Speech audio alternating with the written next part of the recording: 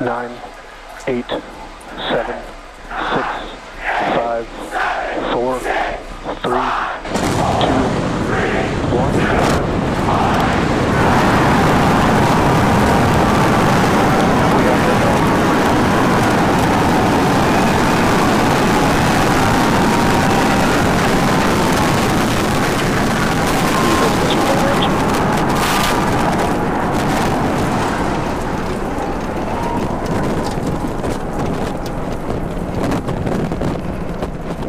Boost back burn, setting it up for eventual splashdown in the Gulf of Mexico. separation.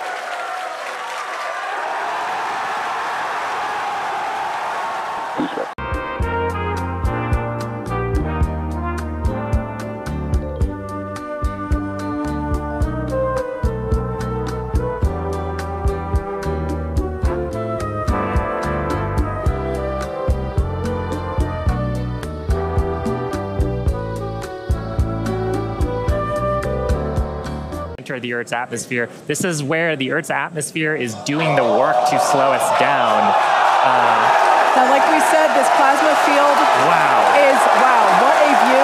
We hope to maintain these views throughout. Starship is so big that we're hoping that the plasma field doesn't entirely blanket the entire vehicle.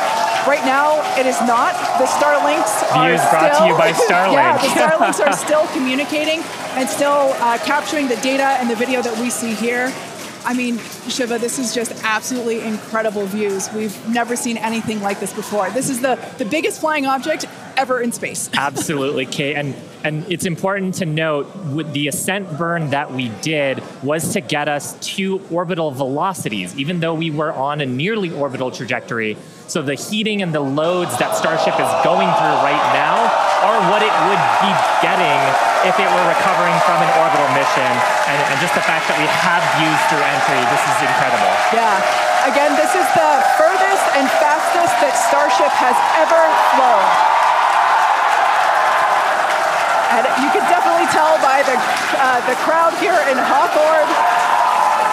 The heat shield tiles doing their work. We talked about it earlier. Uh, up to 2,600 degrees Fahrenheit, that those heat shield tiles are dissipating as we.